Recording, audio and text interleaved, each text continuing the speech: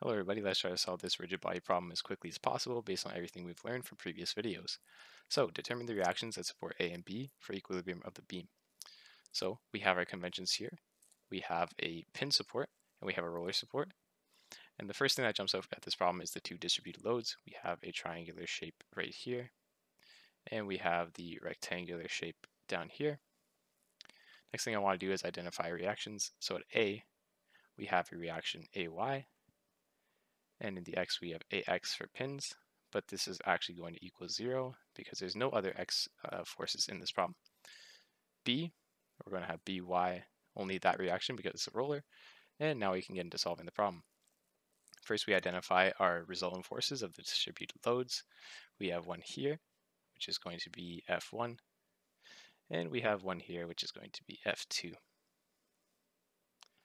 So let's uh, find F1 first we have F1 is going to be the height of that distributed load, 200 newtons per meter, times the span it covers, which is 7 meters.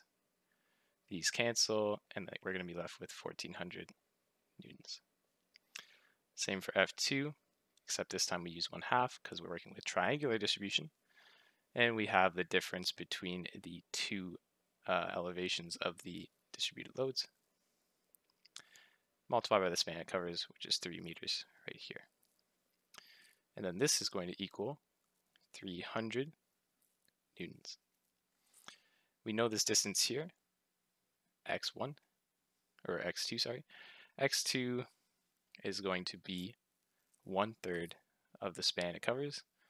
One third of 3 is going to equal 1 meter. And then for the rectangular distribution, it's going to be half of the entire span, one half of 7 meters, which is going to be 4.5 meters. Okay, now we can solve the reactions that are supports.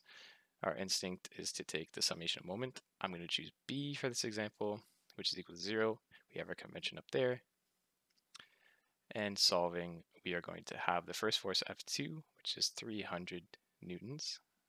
We know that's going counterclockwise, so it's going to be positive, and that's one meter away from the support.